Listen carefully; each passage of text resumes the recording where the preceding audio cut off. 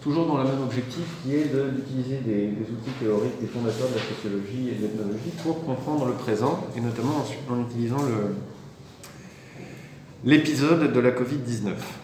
Euh, pour faire une,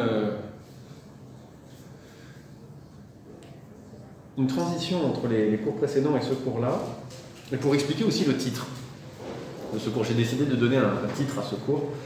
Ce titre s'appelle soigner le corps social versus gérer le stock humain. Euh, je vais faire un petit passage dans, dans l'actualité brûlante de la Covid-19, mais d'abord expliquer le titre.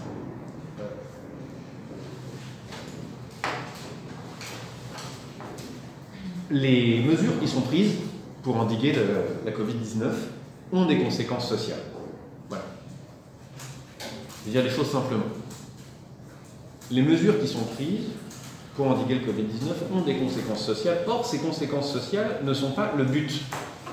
Elles sont des dommages collatéraux d'une efficacité sanitaire recherchée. D'accord? Relativement simple. Donc, on déploie en fonction d'un diagnostic,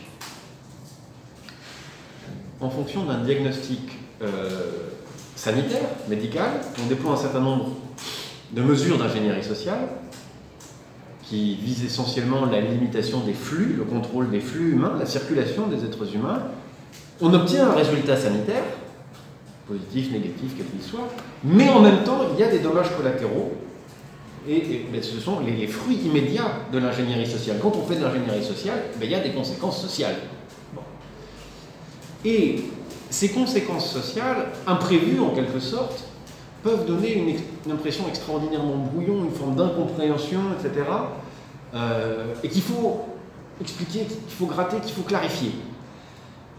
Une des conséquences sociales les plus, inattendues et absurdes, euh, c'est le...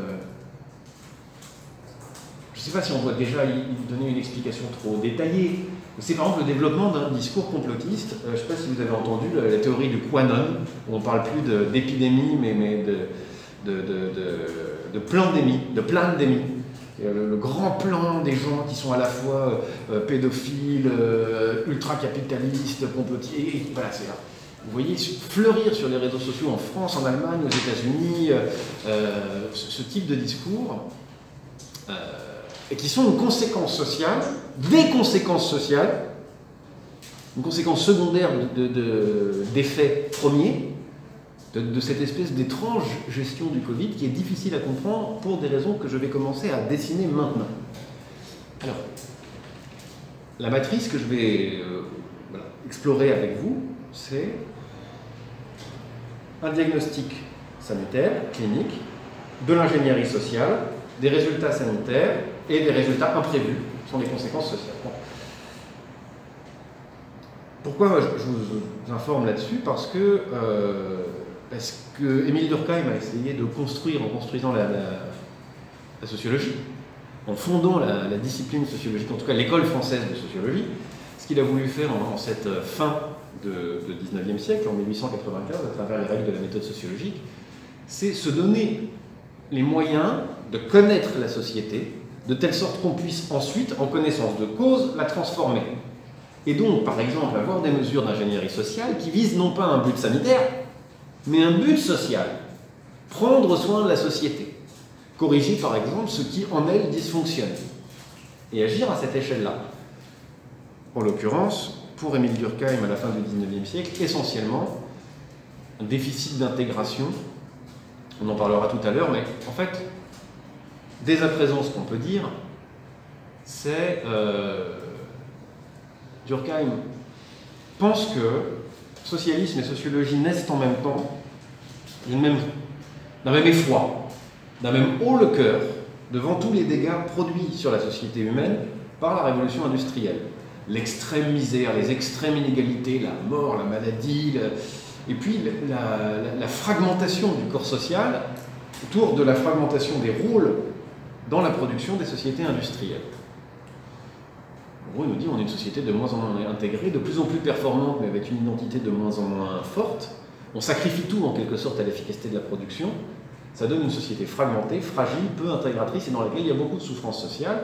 Et il écrit en 1793, c'est son premier ouvrage publié, là de la division du travail social, qui est un projet pour la société française en disant nous allons réorganiser, nous allons réorganiser le travail pour produire moins de souffrance sociale, pour produire une société plus cohérente, plus intégrée. Désolé pour le podcast, je viens de retourner le micro, ça doit vous faire mal aux oreilles, pardon. Euh,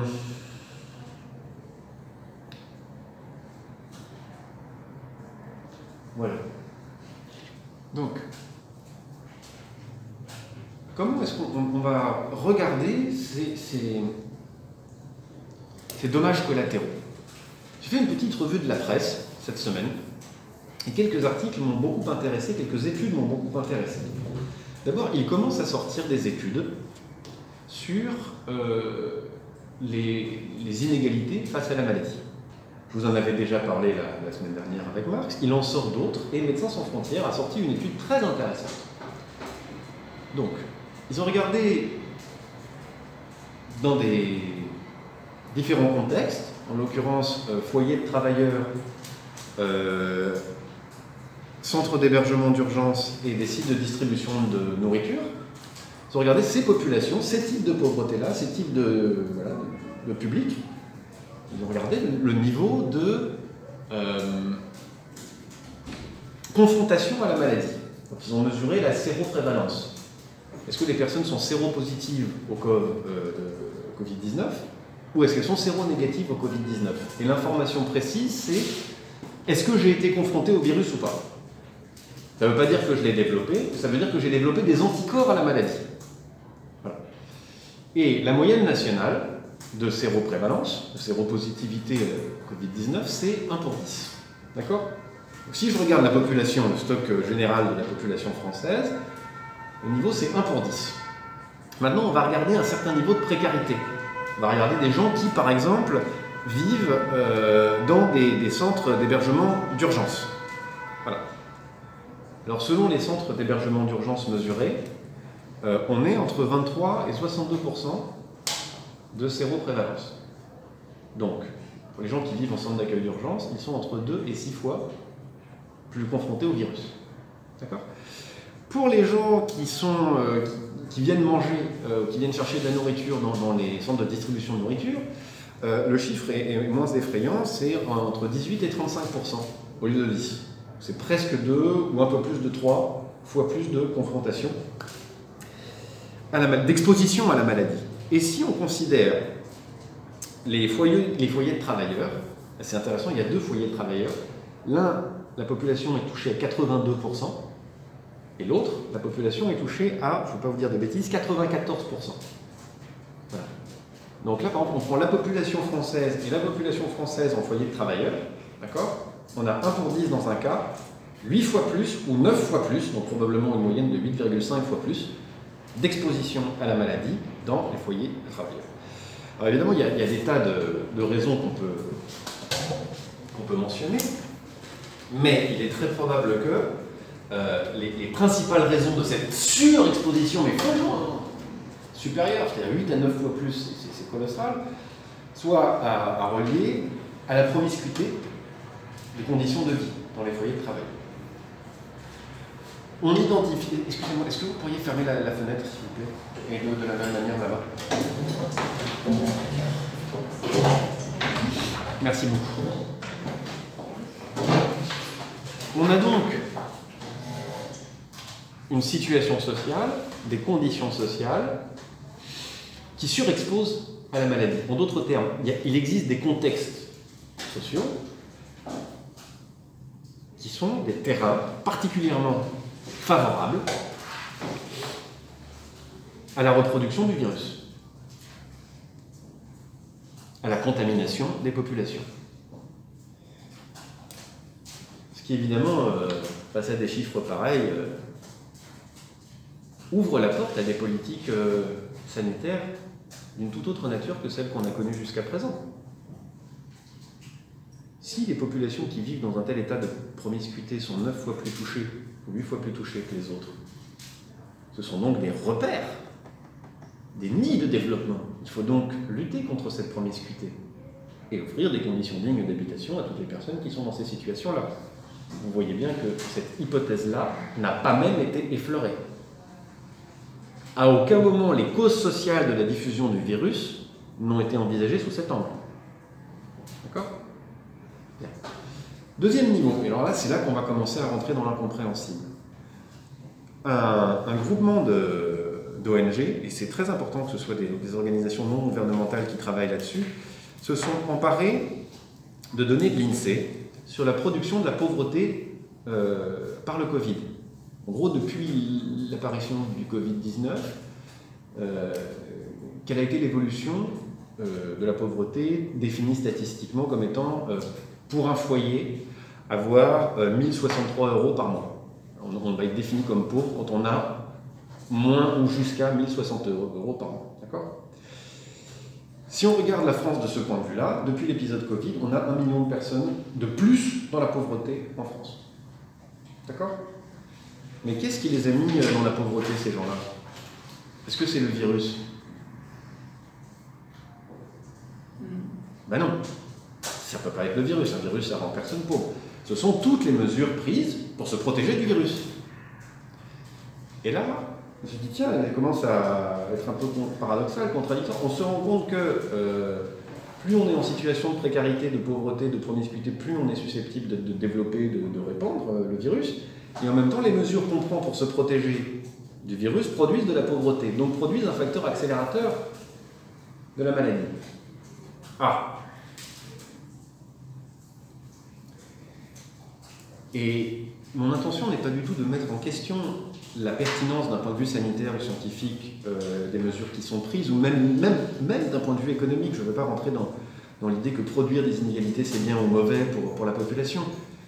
La question est, on entre dans un type de rationalité qui nie une partie de la réalité, en l'occurrence la réalité sociale, d'une manière normale.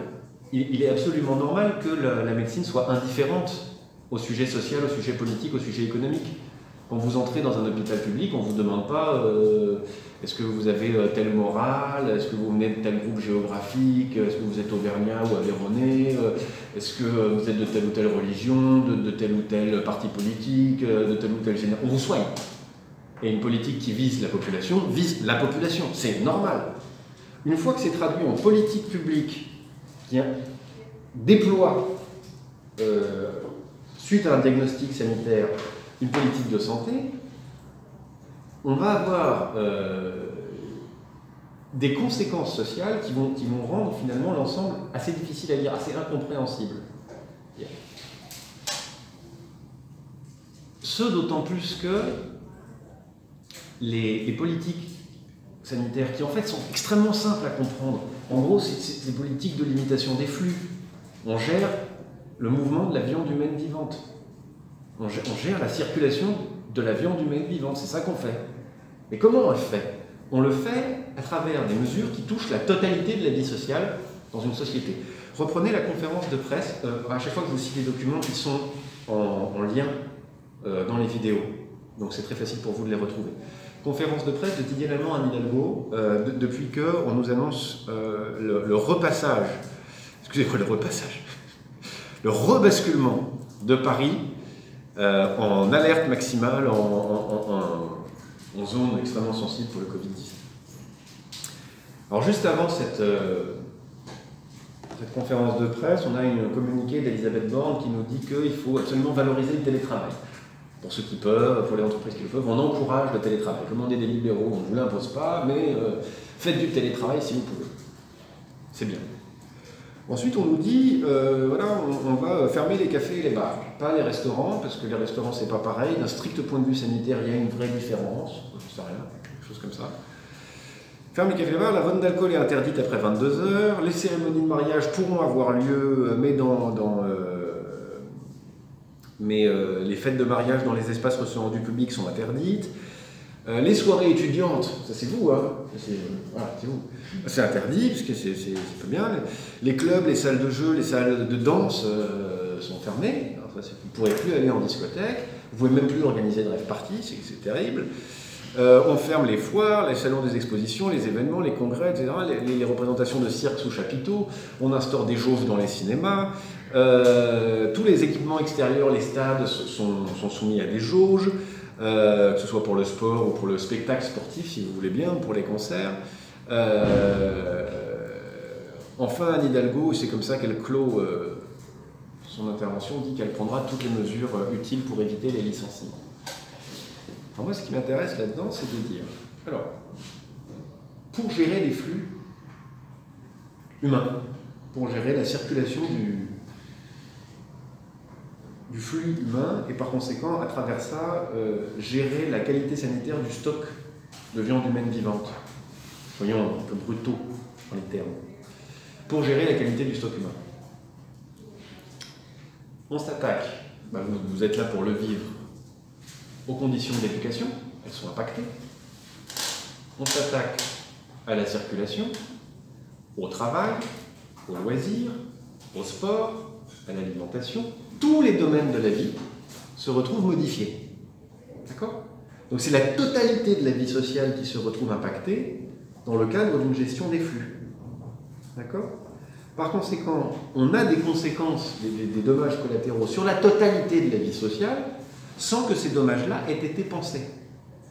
Et on ne les mesure d'ailleurs que très longtemps après, que vraiment a posteriori. Et euh, revenez sur ce point-là. Euh, quand euh, l'étude de MSF est sortie, sur un petit réseau social où j'ai l'habitude d'aller parce qu'il on discute, et puis parce qu'il est libre, orthodonte pour ne pas le nommer, je rebalance l'info, donc l'article. Et ce qui, m'arrive comme commentaire, tout de suite, c'est bien sûr, enfin, évidemment, enfin, c'est quoi la surprise que les pauvres soient plus euh, précisément? Puisqu'on le sait, puisqu'on sait, comment ça se fait qu'on n'a pas commencé par mesurer ça? Puisqu'on sait que les populations les plus précaires ont une espérance de vie plus courte, sont plus touchées par les maladies, sont plus exposées à ce type d'épidémie, de, pourquoi on n'a pas commencé par travailler là-dessus? Et regardez d'ailleurs plutôt les conséquences de mesures sociales de protection d'un point de vue sanitaire. Par exemple, si j'offre un hébergement de meilleure qualité, quel est l'impact sur la transmission du virus? Regardez bien comme nous sommes organisés. Et là, on tombe sur un point très très simple et qui est absolument pas choquant. Nous avons continué à fonctionner exactement comme d'habitude. Aujourd'hui, du fait de choix démocratiques, enfin, du fait de choix électoraux, nous avons une politique libérale euh, à l'œuvre en France. Elle pense que les inégalités sont bonnes tant qu'elles profitent à tous, même aux plus pauvres. Donc on instaure des systèmes qui acceptent les inégalités, qui les prennent pour base et qui ne s'attaquent jamais de front à leur correction. On a continué à fonctionner ainsi. Point. Donc on a créé plus de pauvreté et des inégalités face à la maladie. Il n'y a rien de choquant à cela. Enfin si, on peut moralement se choquer selon ses conditions politiques. Mais si on regarde le fonctionnement social, on voit simplement qu'on est sur une pure continuité. Nous avons reproduit exactement les mêmes schémas, les mêmes structures que dans notre fonctionnement social normal, habituel. Bien. Ce qui est intéressant, c'est que euh, ça se fait essentiellement d'une manière inexplicable, injustifiable injustifiable. Comment est-ce qu'on peut affirmer sur la place publique nous allons plus exposer les pauvres à la maladie parce que bah, c'est comme ça qu'on fonctionne? C'est quelque chose qui, qui, ne peut pas être dit. Et donc, quand on est face à des choses qui ne peuvent pas être dites, des rationalités dont on ne comprend pas l'enchevêtrement, euh, des rationalités à, à l'œuvre, comme par exemple la rationalité médicale, qu'on ne peut pas totalement expliquer ou qui demandent des niveaux d'objectivation qu'on n'est pas prêt à accepter, on crée un espèce de vide d'explication que le sens commun va immédiatement investir en tentant de produire des théories, notamment des théories du complot.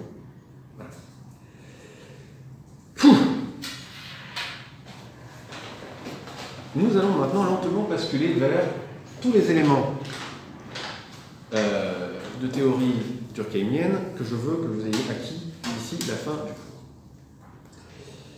Alors,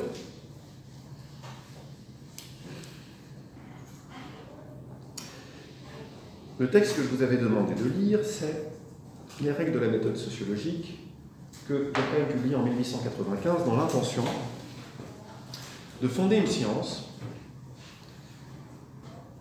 soit euh, une forme de biologie du social, c'est-à-dire une science dure, une science capable de rapporter les faits qu'elle observe à des lois, à des lois naturelles, si on veut bien.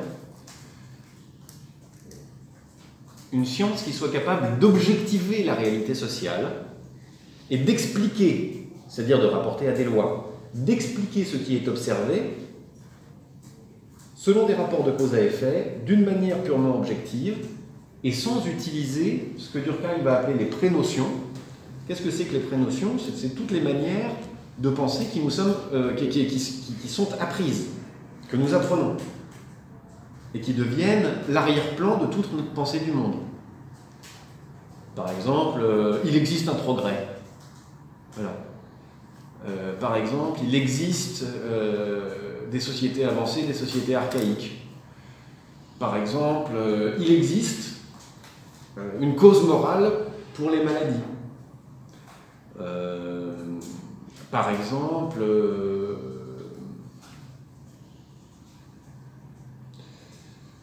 le crime est le fait d'individus dégénérés génétiquement ou individuellement, et c'est un fait individuel. Et, euh, voilà.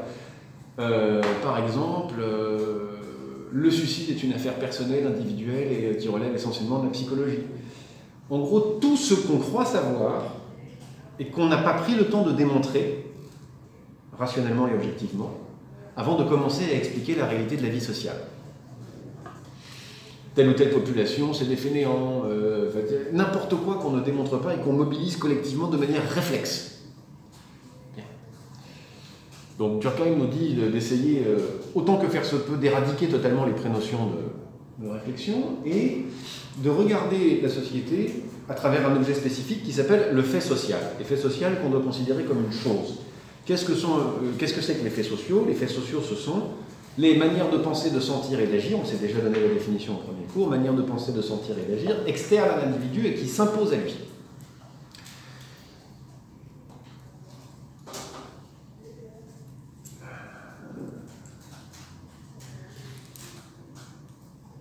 Manière de penser, par exemple, euh, le virus se promène manière d'agir, mettre un masque. Oui, un, tout petit commentaire par rapport à mon geste de tout à l'heure euh, là-dessus. J'ai trouvé ça tout à l'heure dans mon casier. Euh, J'enseigne ici depuis 2006. Je n'ai jamais rien reçu avec un écusson de la Sorbonne. Mais la première chose que je reçois, c'est un masque. Je pense que c'est fait pour nettoyer le tableau.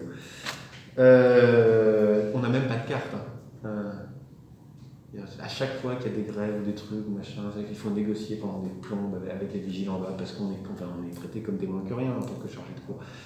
Non seulement par le salaire, mais par tous les signes de, reconnaissance symbolique. Et donc la première fois que je reçois un truc, c'est pour éviter d'envoyer mes postillons. Et en plus, c'est moche, alors que le mien est si splendidement coloré. Euh, bref.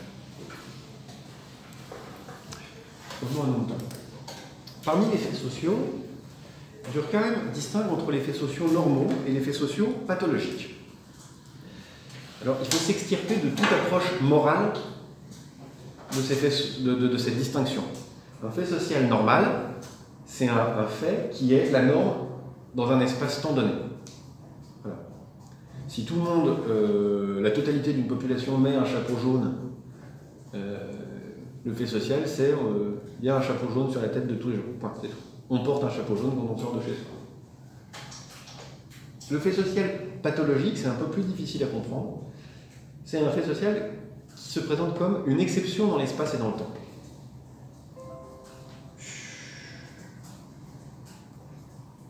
Une exception dans l'espace et dans le temps.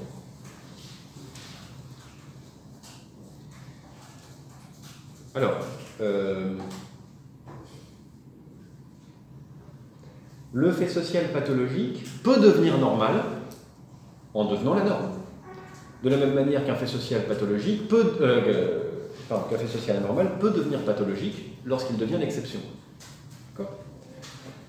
Ce que pense Durkheim à cet endroit-là, c'est euh, la mobilité de la société, le fait qu'elle se transforme perpétuellement. Simplement, d'une société, on va passer à une autre à travers l'accumulation de faits sociaux pathologiques qui à un moment donné vont devenir normaux. Et donc on sera passé d'un état social à un autre état social, d'une société à une autre. d'un fonctionnement social à un autre. Ça ne se fait pas de manière brutale, mais simplement, euh, on est face à de l'institué qui sans cesse se renouvelle, et certains faits sociopathologiques sont le signe du surgissement d'une nouvelle forme de société, d'une nouvelle manière dont, l'ensemble tient, ou alors le signe de l'effondrement de l'ancienne. Donc on est donc en fait avec ce normal et pathologique dans l'idée que la santé d'une société, c'est de réussir à se maintenir telle qu'elle est, c'est ce qu'elle vise, elle vise à se maintenir telle qu'elle est, et lorsque ça commence à trembler, ben, alors je vous donne un exemple très simple. Euh, très très vite, le port du masque est devenu un fait social normal, vous me l'accorderez. En revanche, quand vous observez la tenue de discours complotistes sur euh, le, le, Covid, euh, qui, sont, vraiment, c'est vraiment intéressant, hein, cette espèce de mélange entre euh, pédocriminalité, finance internationale et, et, Covid, c'est un, mélange qui qui est intéressant parce que, si vous voulez, aujourd'hui, le mal moral suprême, c'est la pédophilie dans notre société. Ça n'a pas du tout toujours été le cas, ni dans toutes les sociétés, particulièrement pas en Occident. Mais aujourd'hui, c'est le mal moral suprême. Donc assez naturellement, qu'est-ce qu'on est allé chercher pour qualifier les êtres cachés qui sont forcément le mal moral suprême? Ben, La qualité du mal moral suprême, c'est-à-dire la pédophilie aujourd'hui. Voilà. Euh...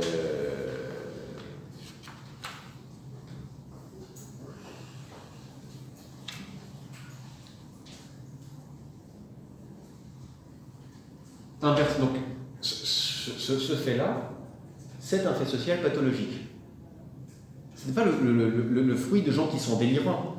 Ce n'est pas non plus des individus qui euh, produisent un discours et une analyse, etc. Ce sont des phénomènes collectifs. À l'intérieur de ces collectifs-là, on produit un discours qui s'impose à tous et qui est étonnamment commun même d'un pays à l'autre. On va attendre le même argumentaire en Allemagne, aux États-Unis et en France. Euh, donc vous voyez, ça s'impose aux individus, même si certains là-dedans sont des entrepreneurs euh, et se font beaucoup d'argent en spéculant sur la crédulité des gens. Néanmoins, vous voyez qu'il y a une production d'un discours relativement homogène au sein d'un groupe. Néanmoins, il est très minoritaire, il est plutôt l'exception que la règle dans la société française, et notamment parce que ce discours-là implique euh, de ne plus faire confiance euh, aux autorités scientifiques et aux autorités médicales, ce qui est extrêmement difficile pour une grande partie de la population. Donc, qu'est-ce que ça porte? Ce fait social pathologique-là, il porte en lui la possibilité de passer à un régime radicalement différent de rapport à la raison, de rapport à la croyance. Si vous regardez d'autres sociétés que la société française, ou des sociétés traditionnelles ayant existé, ou des sociétés euh, futures, euh, ça, ça n'est pas du tout plus absurde du point de vue de la cohésion sociale de croire dans le grand schmilblick de l'espace aux Illuminati euh, reptiliens, juifs, euh, communistes euh, et, par ailleurs pédophiles, que de, croire que dans le fond la maladie est due à un certain nombre de causes matérielles. C'est d'un point de vue de la rationalité, vous pouvez dire l'un est complètement délirant, l'autre est parfaitement rationnel, d'accord. Mais la qualité d'une socialisation ne se juge pas du tout à sa rationalité. Elle se juge au niveau de bonheur partagé par les gens qui vivent ensemble dans ce groupe si on veut trouver un point de jugement. Au niveau d'harmonie, de, cohésion, euh, de, développement de violence sociale ou non, d'équilibre, enfin voilà, on pourrait regarder les choses comme ça, de production de pathologie euh, mentale, enfin, ça se juge pas du tout aux mêmes critères. C'est pas du tout des... Enfin, si, c'est pas du tout plus mauvais ou meilleur du point de vue de la, de la sociologie qui regarde la qualité de la socialisation. D'accord? Donc, ce qu'on observe, c'est quelque chose qui, dans le cadre normal actuel de la société, paraît complètement pathologique, mais qui fait signe vers un tout autre type de société, qui serait une société, dans le fond, euh, religieuse, qui serait une société dans laquelle on est plutôt dans la communion autour d'indémontrables et de croyances essentiellement fondées sur la distinction entre le pur et l'impur. Voilà. En gros, si je schématise, c'est ça. Et ça consiste à dire, pour l'instant nous subissons l'impureté, mais un jour il y aura un grand renversement, et ce jour-là le pur euh, vaincra. Donc en fait, on a quelque chose comme un embryon d'une société radicalement différente de celle qui est là. Beaucoup plus intégrée, beaucoup plus intégratrice, beaucoup plus basée sur le, partage de sentiments. Nous sommes tous les victimes du même maître. Vous voyez? C'est pas du tout la société dans laquelle on vit. Et pourtant, ces groupes-là existent. Et pourtant, c'est, c'est, pas, euh, on peut pas dire 1% de la population y croit, le reste n'y croit pas. C'est pas vrai. En fait, il y a peut-être 1% de la population qui y croit vraiment, et 20 euh, ou 30% des gens qui commencent à se dire Ah bah oui, mais c'est pas complètement délirant de penser comme ça, euh, ah bah oui, mais quand même, non, bien sûr, c'est exagéré, mais quand même, moi je pense que. Euh, voilà. Donc, vous voyez, c'est un moment où une socialisation perd progressivement de sa légitimité au profit d'une hypothétique société à venir. Alors, on a vu ce que c'est qu'un fait social débarrasser des prénotions, faits sociaux normaux et pathologiques. On doit les considérer comme des choses, c'est-à-dire comme des objets. Enfin, ils sont obligatoires. Il y a quasiment un signe égal pour Emile Durkheim entre social et obligatoire. D'accord? Un fait social, c'est un fait obligatoire. Il faut l'entendre de deux manières. Obligatoire en ce sens que la société va faire pression sur vous pour que vous restiez normaux pour que la manière de faire, de sentir et d'agir, qui, vous est externe, vous soit imposée. Alors, les contraintes sont très diverses. Il peut y avoir la police qui va venir vous surveiller, il peut y avoir la police administrative qui va venir contrôler ce que vous faites, il peut y avoir aussi la norme, la tradition, euh, à quelle âge on se marie, comment on se marie, quelles sont les règles pour le rite, etc. Euh, il peut y avoir euh, L'efficacité économique, par exemple, essayer de payer dans une autre monnaie que, l'euro, euh, ça va être difficile. Euh, mais en fait, ça va des choses les plus simples, les plus claires, par exemple vous imposer un permis de conduire, à des choses beaucoup plus discrètes. Par exemple, euh, comment se parfumer. Si vous arrivez en sentant le rendez-vous un rendez-vous d'embauche ou le muscle, je sais pas moi par exemple, si vous arrivez avec un CV euh, avec euh, une lettre sur deux écrite en violet et en jaune fluo, euh, ou même tout simplement en jaune fluo, si vous, je sais pas, décidez de parler plus fort que la moyenne, ou moins fort que la moyenne, vous allez immédiatement, en sortant de la moyenne, sortir de la socialisation normale et donc minimiser, minimiser pardonnez-moi, vos chances objectives de réussite sociale. Voilà. C'est aussi simple que ça. Donc, ça c'est le, premier sens du mot obligation. Il y a un deuxième sens du mot obligation. Le deuxième sens du mot obligation, c'est ça nous oblige. Ça nous oblige réciproquement. Nous sommes tous les uns aux autres obligés. D'accord? Donc, par exemple, euh, on porte le masque, tous. C'est une obligation. Si on ne le met pas, on va avoir des problèmes. Aussi simplement que ça. Premier sens. Mais deuxième sens, en faisant chacun cet effort, nous nous ressemblons et nous nous appartenons les uns aux autres et nous sommes reconnaissants les uns aux autres de faire cet effort pour former cet acte en commun et cette norme. Donc c'est deux choses à la fois, ben, la contrainte et en même temps la reconnaissance qu'on a à l'autre de faire le même mouvement que soi pour former un groupe cohérent et uni et identique. Bien, on avance. Alors, euh, probablement pour choquer les esprits, les marquer, Émile Durkheim choisit euh, d'illustrer la différence entre fait social normal et fait social pathologique avec la notion de crime. De crime. Et euh, Émile Durkheim nous dit que le crime n'est pas un fait social pathologique. Le crime n'est jamais une exception, le crime est un fait social normal.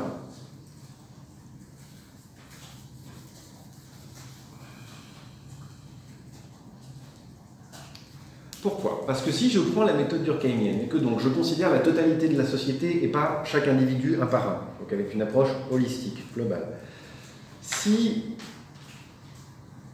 je regarde les choses objectivement et pas en fonction du sentiment qui m'anime, je suis obligé de m'apercevoir que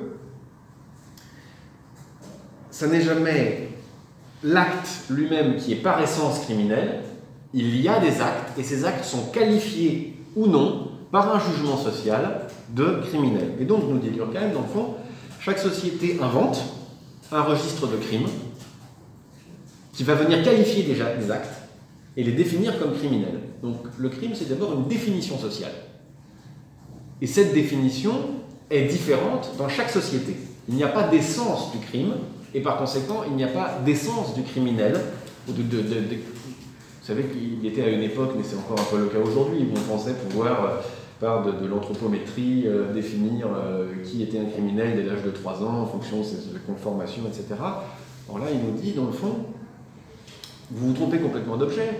la définition du crime, ce n'est pas la divinité qui nous la donne.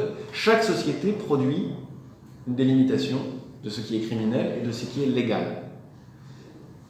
Et à l'intérieur de ça, il faut distinguer euh, entre ce qui est euh, ce qui relève de la justice administrative et ce qui relève de la justice pénale. Mais en gros, le registre criminel, c'est quelque chose qui est défini par la société. Et une même société évolue dans la définition du crime.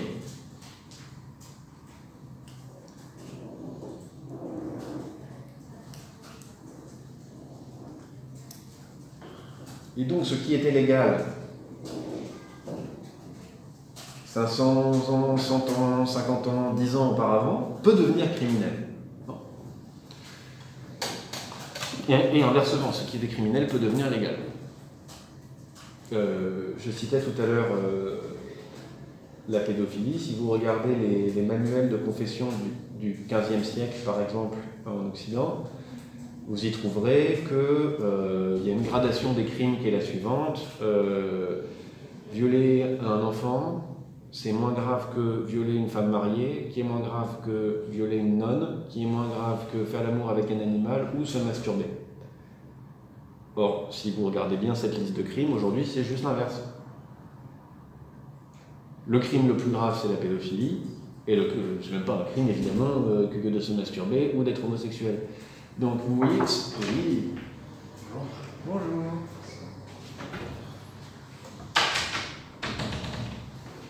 Je vous ai déjà dit que tu n'arrives en retard, on ne dit pas bonjour.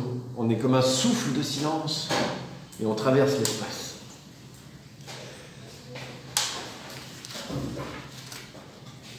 Mais retenez ça simplement.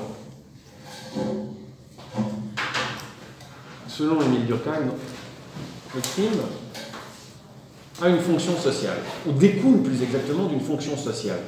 Toute société qui se fonde délimite ce qui est autorisé et ce qui est interdit. Nous sommes ceux qui faisons cela, nous sommes ceux qui ne faisons pas cela. Dès lors, ce faisant,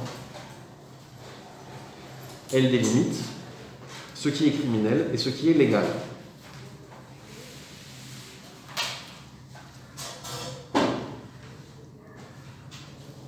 Vous voyez les précautions qui sont prises pour véritablement produire une connaissance de la société qui s'arrache au jugement moral dominant, aux prénotions, aux manières dont, nous avons l'habitude de penser ce que nous avons sous les yeux. Et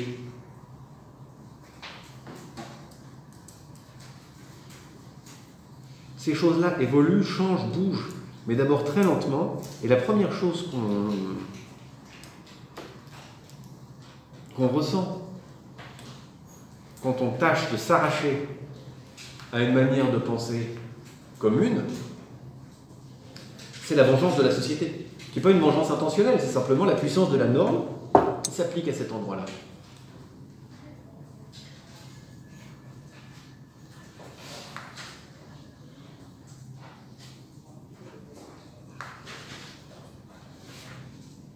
Alors, on pourrait en prendre autant d'exemples qu'il y a d'évolution sociale. Par exemple, la revendication des droits de l'homme, suivie par les revendications des femmes d'être des citoyens comme les autres, suivie par les revendications des personnes homosexuelles d'avoir les droits comme les autres, etc. etc. À chaque fois qu'un groupe s'érige en disant euh, la classification que je subis euh, est injuste, et j'en réclame une autre, je suis bafoué dans ma dignité, vous voyez que le premier réflexe de la société, c'est de produire et de maintenir les violences qu'elle impose à ce groupe. Mais même sur des exemples beaucoup plus badins, euh, se diffusent des manières de penser les choses qui contiennent des violences sociales extraordinaires, des violences symboliques, pour reprendre un terme bourdieuusien, qu'il est difficile de percevoir. Aujourd'hui, dans les médias, vous allez entendre beaucoup parler, si vous écoutez France Info par exemple, d'une affaire qui, a lieu à Herblay et dans laquelle deux policiers en civil ont été très violemment agressés euh, par euh, trois personnes, j'en sais pas plus, qui se promenaient à Herblay, euh, qui, ont, en quelque sorte contrôlé leur identité. Ils ont demandé les cartes de policiers pour vérifier que c'était bien des policiers, puis ils les ont tabassés, puis ils leur ont tiré dessus avec leurs armes de service. Je crois que j'ai réussi à peu près à raconter l'histoire de manière neutre. Dans les médias, ce qu'on entend aujourd'hui, c'est ces gens-là ont été massacrés le, terme de tabassage est trop faible, le ministre, et, ensuite c'est repris comme un élément de langage par les différents médias, on parle de massacre. Euh, bien. Je ne évidemment pas me prononcer sur l'opportunité ou non d'utiliser de telles métaphores, de tels termes, de tels adjectifs pour décrire ces violences extrêmes. Euh, déjà, c'est un adjectif de trop ces violences euh, perpétrées contre euh, membres de la force de l'ordre. Mais, je vous prie de remarquer la chose suivante. Lorsque sont constatées des violences de la part des forces de l'ordre qui produisent par exemple le décès des personnes, je vous prie de remarquer à quel point les termes ne sont pas les mêmes. Par exemple, aujourd'hui, euh, je crois que c'est le parquet, a, décidé de continuer, vous savez, cette affaire du jeune Théo qui avait été sodomisé avec une, une euh, matraque et qui en a gardé des séquelles euh, à vie. Bon. On, on, a décidé que on allait rappeler quand même les policiers pour un examen, mais que le terme de viol n'était pas approprié. On n'a pas parlé de l'anus massacré de ce jeune homme. Vous voyez? Comme et alors, quand euh, on a euh, euh, la famille d'Adama Traoré qui se mobilise ou d'autres personnes qui sont. Je ne mets pas du tout en équivalence les choses, c'est pas ça la question. Mais à mort d'homme, ou à risque de mort d'homme, et à violence, niveau de violence équivalente, les choix de termes qui sont utilisés pour qualifier la chose en font soit des crimes abominables, soit des bavures policières. Et si vous mettez en tête de parler à ce propos-là non pas de massacre, mais de bavure citoyenne ou de bavure populaire. Vous voyez Attendez un instant. Vous allez immédiatement choquer le sens commun et probablement déclencher contre vous des représailles. Que ce soit des représailles légales ou que ce soit tout simplement le blâme des gens qui sont autour de vous et qui diront mais ça n'a pas de sens, c'est ridicule, pourquoi tu utilises des termes pareils? Vous voyez donc que d'abord, ça n'est pas le geste qui est criminel mais sa qualification, il n'y a pas de, geste qui soit tout simplement purement criminel, mais c'est la manière dont on le qualifie qui va le faire devenir criminel, d'un côté. Que le même geste à l'intérieur d'une même société peut être considéré comme criminel ou légal.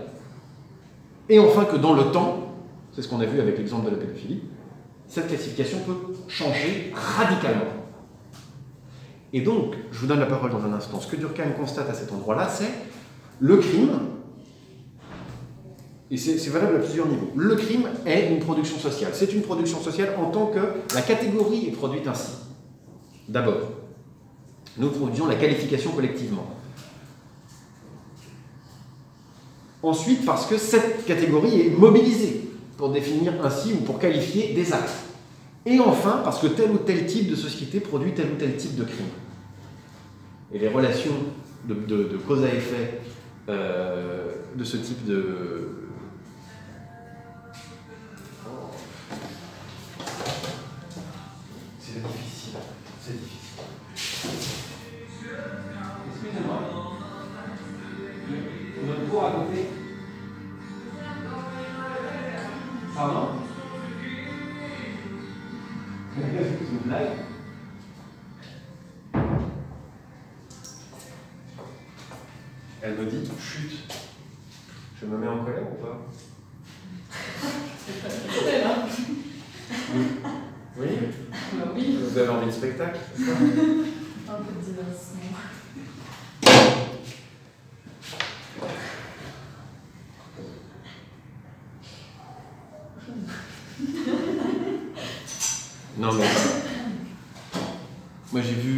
cours avec des, des fenêtres qui passaient par l'extérieur, des cours avec des gens qui portaient des morceaux de plafond parce qu'on enlevait l'amiante pendant les cours. Donc, je ne vais pas me laisser énerver par. euh, De la physique. Si. si. Mais c'est un cours Euh, oui, je crois, ouais. ouais. C'est un cours là Ouais, c'est de musique ou je sais pas, de culture. Non, d'allemand. D'allemand Ah, D'allemand Là, on entend vraiment la ouais. Il y a personne qui parle encore allemand là Non, mais je crois hein.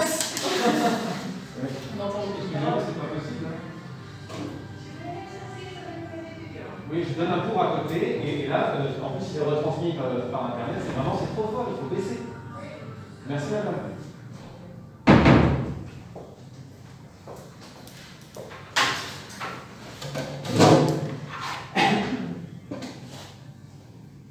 Elle baisse rien. Ah,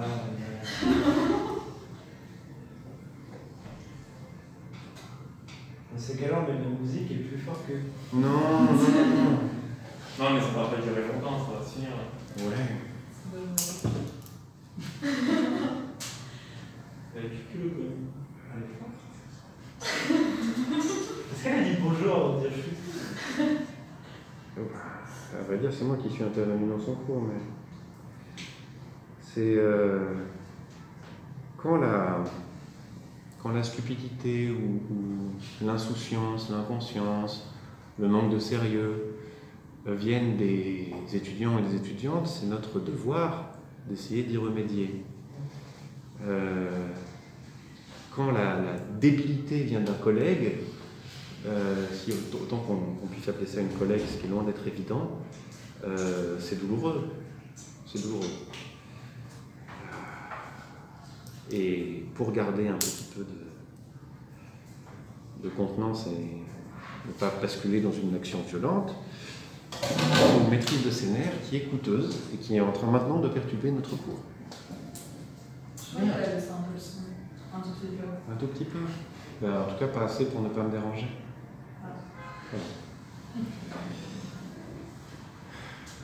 Bordel à queue de pompe à quelle espèce d'abruti. Ça fait déjà un peu de bien. Euh, alors, nous revenons à nos histoires. Une fois qu'on a vu normal, pathologique, résultat, on, on va passer à un couple de notions, euh, un couple de couples si vous voulez bien. Intégration, régulation d'une part, solidarité organique, solidarité mécanique d'autre part. Durkheim, en, étudiant les, les sociétés, et notamment la société française, mais aussi en la comparant à différentes régions et sociétés européennes, aperçoit une euh, compréhension possible, une intellection possible, une explication possible euh, de l'évolution des sociétés à partir de deux dynamiques. En gros, il y aurait deux dynamiques qui, principalement, formeraient le social. Je me rappelle à, l'instant que vous aviez levé la main et je vous promets de vous donner la parole. Ouf. Ces deux dynamiques sont la production de règles, la régulation d'un côté, et la production d'identité, d'appartenance de l'autre, c'est-à-dire la dynamique d'intégration. Donc deux mouvements, la production d'intégration et la production de règles. Ce ne sont pas exactement des mouvements qu'on pourrait décrire comme parallèles. En fait, ils sont quasiment opposés. En ce sens que l'intégration, c'est de la production d'identité. C'est le fait que nous sommes de plus en plus semblables les uns aux autres. Par identité, j'entends quasiment identique. D'accord? Et que la production de règles sanctionne une société de plus en plus complexe, de plus en plus diversifiée, dans laquelle les positions sociales, les rôles, les fonctions sont de plus en plus divers, et dans laquelle en fait la règle vient organiser un fonctionnement une interdépendance entre des êtres de plus en plus dissemblants. Voyez? Donc la société va séparer, diviser. On pourrait presque ra- rapprocher ça d'une autre catégorie, socialisation, communalisation, mais ce ne serait pas, le, le, le cœur du cours là. Donc pour Durkheim, on a cette dynamique de production de règles, de hiérarchie, de différence, de fonctionnement, de règlement, donc dynamique de régulation, et dynamique d'intégration, c'est-à-dire de production d'identité. Alors, à travers l'identité, il faut voir aussi la production d'appartenance, de sentiments d'appartenance, de, de, signes de reconnaissance réciproque. On n'arrête pas de, voilà, de créer des symboles, des lieux, des choses dans lesquelles on retrouve notre similarité et notre appartenance à un même ensemble, au fait que nous nous reconnaissons réciproquement comme appartenant à ce même ensemble, au fait que nous partageons autour de cette identité. D'accord? C'est toute l'activité de production de symboles, par exemple. Symbole étant un signe de reconnaissance réciproque. Alors, de ces deux processus découlent deux types de solidarité, c'est-à-dire deux principes d'agrégation, de, maintien ensemble des individus qui forment le groupe social. La solidarité, organique et la solidarité mécanique.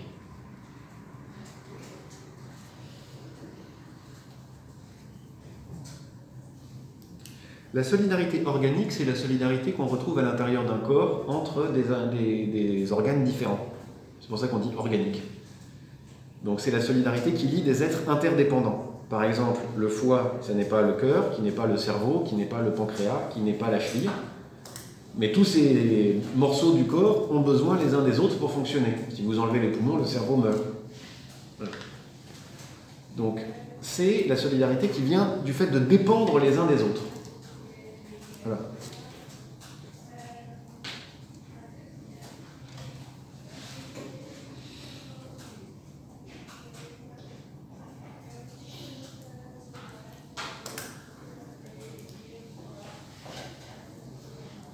Et euh, par exemple, je sais pas, euh, c'est le, le fait pour des personnes qui ont besoin d'être soignées de ne rien savoir de la médecine et de se reposer sur des gens qui soignent, et simultanément pour des gens qui soignent, d'être dans une situation dans laquelle ils ont une espèce de monopole de la connaissance, et s'ils arrêtent d'agir, les gens ne peuvent plus soigner et meurent, par exemple, ou souffrent.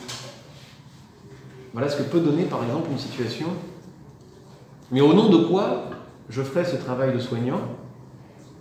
Ça, c'est l'intégration qui va pouvoir me le dire.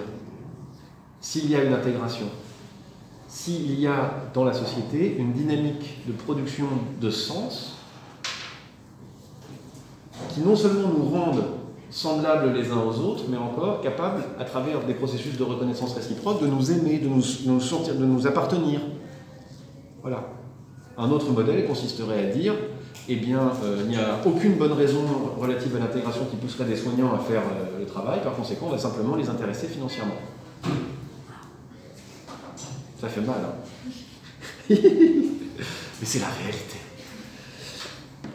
Or donc, deux processus, intégration-régulation, qui correspondent à deux types de solidarité, solidarité mécanique et solidarité organique. C'est l'évolution de ces solidarités et l'évolution de ces deux dynamiques qui produiront, par exemple,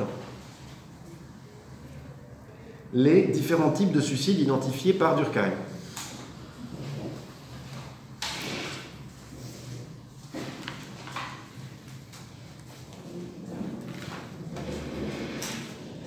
C'est par ailleurs sur ce type de levier que Durkheim se propose d'agir dans un contexte d'ingénierie sociale. Par exemple, je vous parlais de, euh, ici de la division du travail social. Dans de la division du travail social, qu'est-ce que Durkheim nous dit? La société industrielle a produit euh, un, surplus de régulation, un surplus de, division du travail social, un surplus de... Excusez-moi, c'est complètement impropre. Un surplus de d'atomisation, on pourrait dire, des rôles sociaux.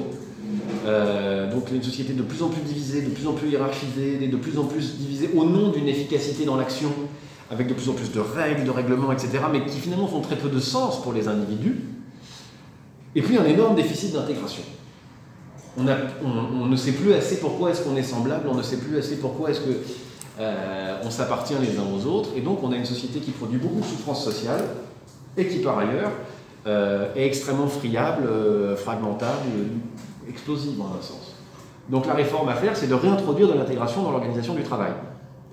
Et les mesures qui sont proposées par Durkheim, c'est de, c'est de réintroduire des corporations. Vous savez ce que c'est les corporations? Alors c'est quoi? Par exemple, qu'est-ce que c'était au Moyen Âge C'est des regroupements d'ouvriers qui se servaient de la production euh, au d'un corps de métier. Mhm. Alors, pour compléter ce que vous dites, euh, ce sont des formes d'organisation un peu plus anciennes d'ailleurs que le Moyen Âge, on en retrouve dès l'Antiquité romaine, et ce sont des groupes professionnels qui, autour d'une pratique, euh, par exemple souffler du verre, euh, mais, pas, faire du vin, faire des draps, faire des, teintures de draps, qui autour d'une pratique organisent plusieurs choses. D'abord le fait de contrôler quelles sont les règles du métier, les règles de l'art. Contrôler l'embauche et la qualification des personnes. Contrôler aussi très souvent le territoire dans lequel est euh, écoulée la marchandise produite, où sont déployés les savoir-faire déployés, en disant nous voulons l'exclusivité, euh, par exemple, de la production de draps euh, ou de teinture ou du travail du cuir sur cette zone-là. Et donc en fait, durant le Moyen Âge, c'est essentiellement à l'échelle municipale qu'on voit se développer des corporations, même s'il en existe à des échelles plus importantes. Alors ça paraît anecdotique comme ça de dire il faut plus de corporations. Mais en fait, c'est extrêmement important. Qu'est-ce que Durkheim nous dit? Il nous dit voilà, d'abord on va sortir d'un modèle de compétition de tous contre tous. Quand on rentre dans une profession, on intègre un corps qui devient votre seconde famille. Les corporations avaient des communautés de culte, des communautés de banquets, des communautés de fêtes. Souvent on habitait dans le même coin, on a tous été formés aux mêmes règles. Ça c'est une chose. Deuxièmement, on n'entre pas dans un marché d'écoles concurrentes. On entre dans la corporation. Mais la corporation, par ailleurs, elle implique de sortir du marché concurrentiel. Ah oui. C'est moi qui définis les règles du métier. Et par conséquent, qui définit ce qui va être vendu ici. Et par exemple, euh, dire, je sais pas moi, euh, on va faire une corporation euh, en France des producteurs euh, de tissus. Ça consisterait à donner à un groupe professionnel le droit d'édicter les règles de production du tissu. Et il pourrait tout à fait dire immédiatement, nous ne vendrons du tissu que produit en France. Par exemple, selon tel et tel et tel critère de qualité, etc. etc. C'est en fait dire la première efficacité d'une organisation professionnelle, ça ne doit pas être une efficacité économique, ça doit être une efficacité sociale. Redonner au lieu où l'on travaille la capacité de produire de l'identité et une forme d'harmonie sociale. Et tout ça s'inscrit par ailleurs dans une pensée sociale, euh, qu'on pourrait quasiment dire socialiste, en tout cas qui est mutualiste, coopérativiste, euh, associationniste, dans ce sens-là. Durkheim s'inscrit très clairement là-dedans. C'est vraiment l'idée de réagencer le processus de socialisation et les rapports entre les solidarités organiques et mécaniques en touchant quelque chose à l'organisation du travail et en disant, dans le fond, on ne va pas balancer des atomes économiques dans une grande guerre de concurrence, on va essayer de réintroduire dans l'organisation du travail une dynamique familiale. D'accord? Maintenant que j'ai donné cet exemple, et euh, en fait quasiment pour conclure, parce qu'hélas, euh, c'est comme ça, euh, oh, est-ce que j'ai besoin d'aller faire des schémas au tableau? Euh, Non. On verra ensemble, soit la séance prochaine, soit dans deux séances, euh, comment est-ce que l'équilibre entre intégration et régulation est à l'origine des différents types de suicides et en un sens aussi de différents types de sociétés, de manières de penser dans les sociétés. Euh, donc, en étudiant l'ouvrage de Durkheim qui s'appelle Le suicide, pourquoi pas en allant voir les théories de Marie Douglas. Là, aujourd'hui, j'ai pas le temps dans ce cours-là. C'est dommage parce que je l'ai fait au cours précédent. Euh, en revanche, ce qu'on peut d'ores et déjà se dire, c'est euh, comment est-ce qu'on pourrait utiliser ces termes-là, intégration, régulation, pour produire une lecture sur la socialisation en France euh, après ou pendant l'épisode Covid-19. En gros, je, vous dis la chose suivante, Durkheim, à partir de tous ces points-là, a élaboré une méthode pour se procurer une connaissance de la société, de ce qui tient la société, de ce qui au contraire peut la disloquer, telles qu'elles permettent d'agir sur la société, et non pas simplement d'avoir des, de faire des dommages collatéraux sur la socialisation. Si on interroge Durkheim, on se dit, tiens, qu'est-ce qu'on est en train de produire? Que Vous êtes euh, français, je pense. Absolument. Oui.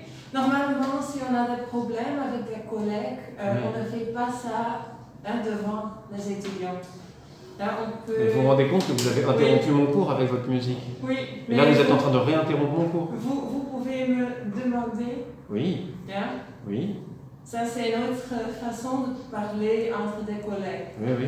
Hein? Mais je sais, moi je suis en France, on n'a pas de, de manière hein, comme dans les autres euh, pays. Oui, c'est vrai, on est très mal Oui. élevés chez nous. Je vous remercie, madame. C'est ça. Mais je, je, je souhaite, euh, je vous souhaite beaucoup de, de chance avec votre course.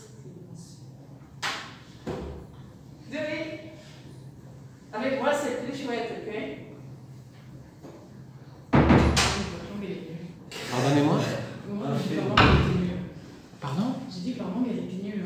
Leur langue, elle est. Mais c'est quelle langue? C'est l'allemand. Ah Oui. Non, c'est amusant, c'est. Peut-être que dans des universités plus riches et mieux dotées en Allemagne, il y a des salles mieux isolées. Et euh, la prochaine fois, j'entrerai en disant Es ist genug Euh, Enfin. Non, puis c'est marrant cette espèce d'argumentaire, que vous êtes français, je pense, c'est rigolo. Mais en fait, je suis canadien et français et je t'emmerde. euh. Euh, mais enfin, je- allez, euh, ça suffit d'avoir perdu tellement de temps avec cette histoire-là. D'ailleurs, pour la peine, je vais encore un peu plus rogner sur la. De toute façon, on a, jusqu'à 16h05, n'est-ce pas? Bien. Donc voilà, euh, interrogeons-nous sur. Puis tu seras sur YouTube. Euh, interrogeons-nous sur la manière dont euh, la- les mesures prises à l'occasion de la Covid-19 ont pu intervenir sur ces processus d'intégration et de régulation. D'accord? Alors, à votre avis, est-ce que le Covid a produit plus d'identité?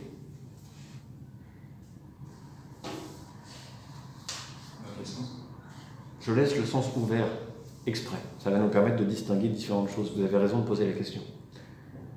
Genre, j'ai euh, identité dans le sens euh, revendication.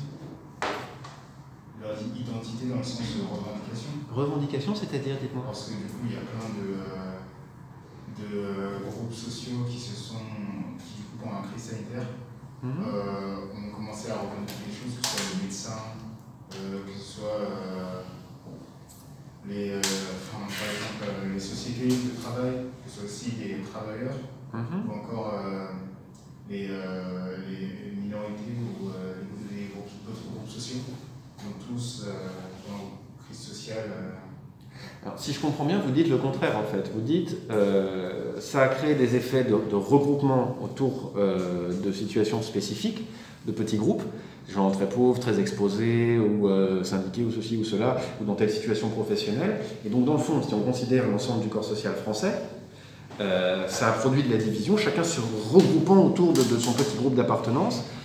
Euh, pourquoi pas Euh, Mais si vous prenez le, mot identique, identité comme quand on est semblable et quand on est identique, de fait, l'épisode de la Covid-19 a produit un certain nombre euh,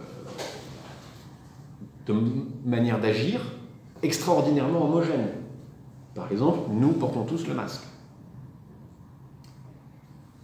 Maintenant, nous portons tous le masque, pas au même moment selon les endroits. Dans différentes villes en France, on ne le porte pas, mais ça, c'est à des échelons qui sont, qui sont différents. Et puis par ailleurs, euh, nous ne sommes pas du tout impactés de la même manière euh, selon la classe sociale qu'on peut avoir, le lieu où on habite, le niveau de richesse de la zone où on habite, euh, sa propre richesse personnelle, euh, etc., etc. Donc, euh, c'est vraiment à prendre avec des pincettes. Ça a produit du commun, mais dans certaines mesures. Néanmoins, il ne faut pas les négliger. C'est-à-dire que quand même, collectivement, nous avons engagé un, changement de culture, un niveau de soumission et d'acceptation, on pourrait dire, de la consigne sanitaire collective, qui d'une certaine manière rend tous les citoyens français un peu plus semblables dans ce qu'ils sont prêts à accepter, pour des raisons et d'autres, à se soumettre à cette contrainte, quand bien même ils y seraient opposés. Dans l'espace public, ils s'y soumettent ultra majoritairement. Est-ce que vous avez d'autres euh, aperçus comme ça de, création de niveau d'identité? Est-ce qu'il y a quoi que ce soit dans lequel nous pourrions dire, euh, face au Covid, nous sommes ceux qui avons réagi comme ça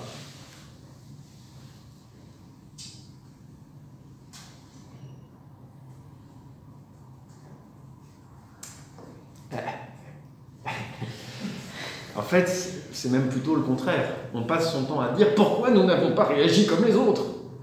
Eh, Les Allemands, c'est super mieux, euh, les Italiens, on aurait dû faire pareil, euh, etc. etc. On a Hein réagi très tard, notre président aussi mis quelques, enfin, des choses en place, mais très tard, et c'était déjà implanté. Et c'est plutôt ça qu'on a ressenti, c'est-à-dire qu'il n'y a pas de fierté d'une euh, voix française euh, de la lutte contre le Covid.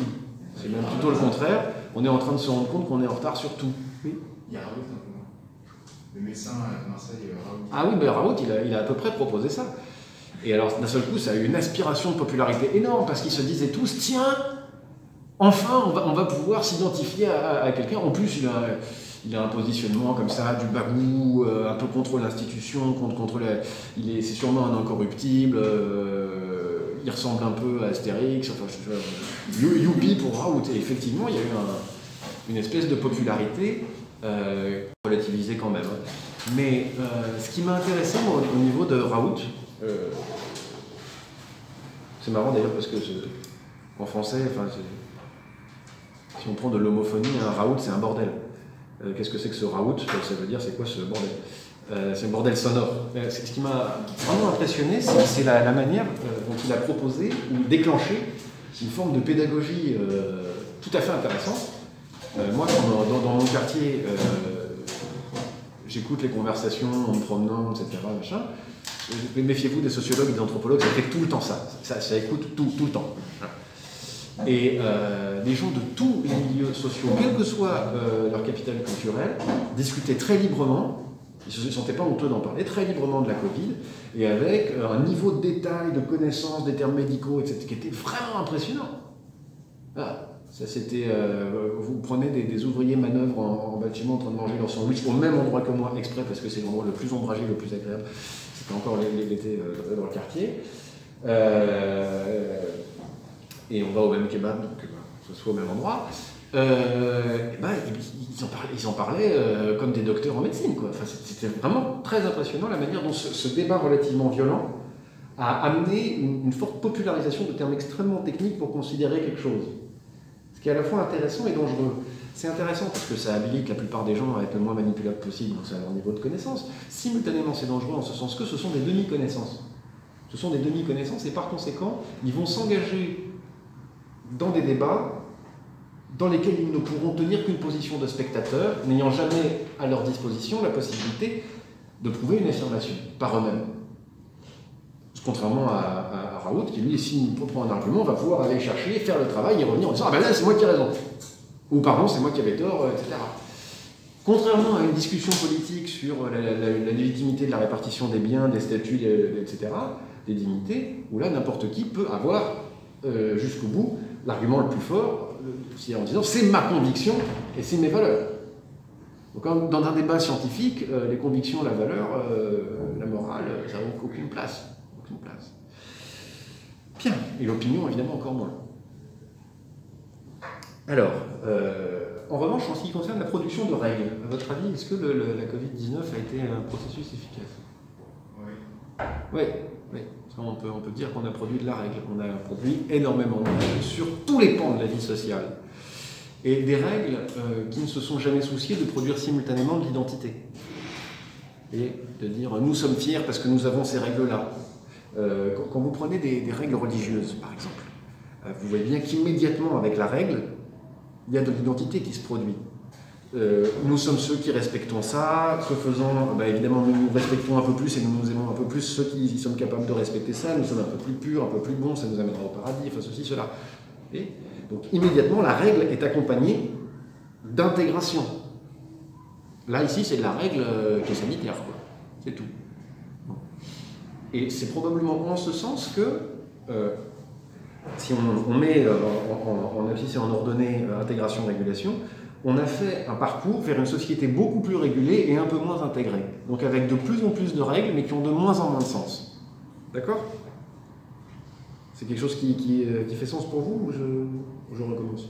Et ça, c'est une continuation de ce qui était déjà avant, quelque sorte. Très exactement, et de la même manière, vous pourriez juger euh, comme une forme pure de continuité euh, sociale euh, tout ce que je vous ai raconté au début. Si la société française a produit euh, une prise en charge de la maladie qui a créé plus de pauvreté, qui a plus touché les pauvres que les riches, etc., etc., qui n'a pas corrigé ces traits-là, c'est simplement une pure continuité. Et ce qui est intéressant, c'est que, économiquement parlant, et dans le débat traditionnel français, ces positions sont complètement justifiables. Dans certaines écoles de sciences politiques, euh, de commerce euh, ou d'administration, on apprend des formules, même en, jouant les débats contradictoires. hein. Euh, en la Sciences Po, moi, on m'a appris que, dans le fond, une position tout à fait admissible en économie était de reconnaître que dans, le cadre de l'optimum de Pareto, jusqu'à ce, ce, niveau-là, ou alors avec John Rawls aussi, c'était marrant, avec, dans Justice as Fairness et le, le voile d'ignorance, bref, que dans le fond, on peut défendre l'idée selon laquelle les, inégalités économiques sont bonnes, euh, tant qu'elles permettent aux plus pauvres de s'enrichir. Donc il faut permettre même la croissance des inégalités tant que, euh, c'est ce qui définit l'optimum de Pareto, tant que le plus pauvre s'enrichit à la croissance des inégalités. D'accord? Tandis que d'autres positions politiques vont dire le contraire. Pour l'instant, euh, suite à euh, des élections, je ne sais pas si c'est une démocratie complète, mais enfin suite à un exercice de démocratie électorale, nous avons à la tête de l'État euh, les représentants d'une doctrine politique qui affirme qu'effectivement, la production d'inégalités n'est pas forcément souhaitable, mais qu'elle est bonne tant qu'elle permet aux plus pauvres de s'enrichir et qu'elle emporte la société dans une dynamique de production de richesse qui est vue comme étant l'alpha et l'oméga de la santé du pays. Très bien. Donc, nous produisons de l'inégalité. Point. Une maladie se- survient, nous la diffusons, nous la faisons, nous la fabriquons littéralement exactement sur le même modèle. Et euh, même si le temps passe, euh, je, me permets d'y revenir d'un mot, il n'est pas du tout anecdotique que des études aussi simples, aussi élémentaires, aussi bêtes, mais bêtes, bêtes au sens que les résultats sont archi prévisibles, que celles que je vous ai présentées au début ne sortent que maintenant. Il n'y a pas du tout d'idée de complot, etc. C'est c'est ça la question. C'est simplement que ça ne nous intéresse pas. Ça ne nous intéresse pas, collectivement. Nous produisons une société dans laquelle, dans les médias importants, euh, ces études-là ne sortent qu'au bout de 9 mois d'épidémie. Là où n'importe quel sociologue euh, ou, euh, sociologue de la santé, etc., aurait pu vous dire dès le départ, bah écoutez, le niveau de revenu impacte l'espérance de vie, euh, on le sait, les populations les plus pauvres qui vivent le plus dans la promiscuité avec des conditions d'hygiène les plus faibles, le moins d'accès à la prévention, le moins d'accès aux soins, euh, ben, évidemment sont plus touchés par les épidémies et tel et tel type d'épidémie. Donc, euh, ben, en fait, on sait déjà que ces situations de pauvreté vont être des clusters formidables. On le sait déjà. On le sait déjà, démontrons-le, et une fois que c'est démontré, agissons sur ces causes c'est quelque chose qui ne nous a pas intéressé pendant neuf mois. Pour moi, c'est extraordinairement significatif. Maintenant, vous m'avez posé une question. Il fallait que j'y revienne. Ah non, on a pris la minute, c'est bon? Mais si. Vous m'avez dit, euh, est-ce qu'on pourrait revenir sur les conditions de, euh, Ah de cours. Voilà, Oui. c'est ça. Donc je vous ai demandé de me rappeler les choses. Et comme je vous ai vu héroïquement euh, lutter tout court, presque avec succès d'ailleurs, euh, mais je, j'accède à votre demande. Encore un instant, s'il vous plaît. Pardon, qu'est-ce que vous vouliez savoir? Ah bah non, donc, du coup, vous avez expliqué au début euh, comment se passait au niveau du, de la semaine d'alternance, euh, si vous faisiez euh, les mêmes cours toutes les semaines, ou si vous faisiez une continuité euh, pédagogique. Ok, donc c'est bon, j'ai déjà répondu à ça. Vous savez, je me mets des post-it dans la tête et puis à un moment donné, ça sort. Dernière chose, est-ce que vous avez tous eu accès à la chaîne ou est-ce que maintenant vous savez comment le faire? Non. Vous savez pas comment le faire faut aller sur YouTube et euh, chercher vos Je les ai marqués juste là. Voilà. Et euh, dans un souci démocratique, dernière question, est-ce que vraiment il y en a que ça gêne et qui voudraient que euh, on fasse deux fois de suite les mêmes cours Moi, je viens de voir déjà comment ça se passe. D'accord. On teste comme ça et puis on, on améliorera en cours de route. Bien. Ben, sur ce, je vous remercie. Laissez la place aux autres, c'est leur tour.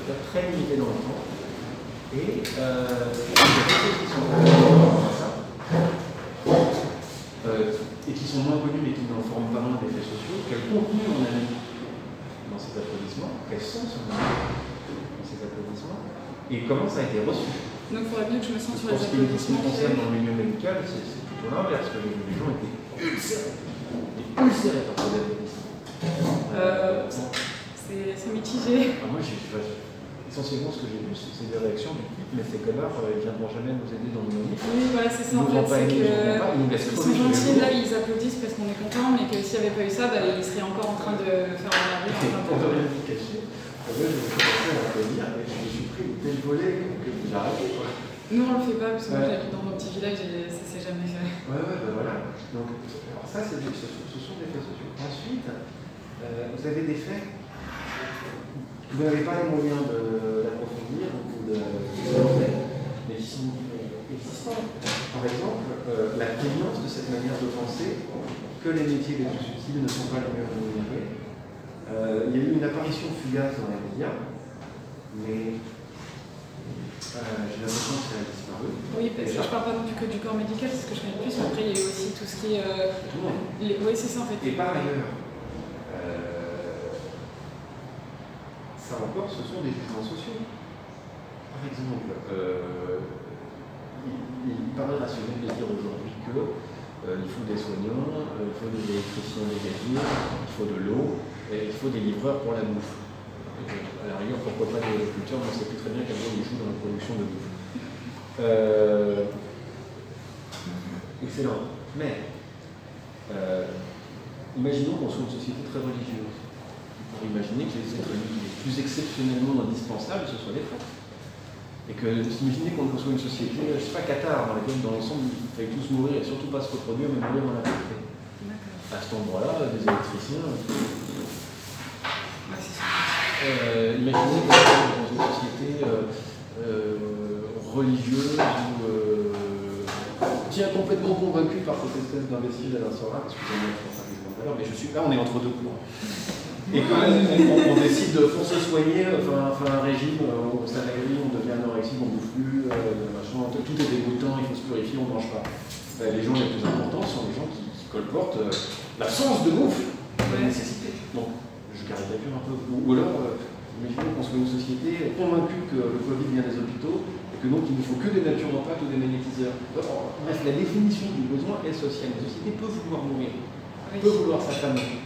Donc, en fait, euh, Il y a eu une mode à un moment donné de se dire ça, mais je suis persuadé encore, euh, qu'encore aujourd'hui, les dominations sociales sont suffisamment importantes que les gens continuent dans leur corps intérieur à penser qu'il y a des gens qui sont capables euh, de savoir ce qui est sérieux et ce qui est sérieux et d'autres non. Et que ces gens-là sont même les plus importants. Euh, qui fait que quand Emmanuel Macron va dans la vallée de la Roya, il y a des gens qui tombent en larmes devant lui en disant Mais sauvez-nous, ce type-là, il ne rien pour eux, il vient et il fera rien. Il vient et il monte sa tronche, mais ce sont des électriciens, des gaziers, des gens du téléphone, des infirmières, c'est c'est eux qui vont le faire. Et il va Bref. Quant à, à déclencher de l'argent, la réalité c'est le contraire qui est vrai. Il a déclenché 200 millions sur le alors, alors que c'est lui qui est aux manettes. En fait, il a empêché l'argent de sortir.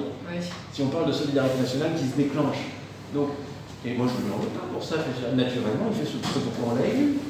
C'est tout à fait naturel, mais vous voyez la croyance à l'œuvre euh, en voyant la nécessité là où elle n'est pas.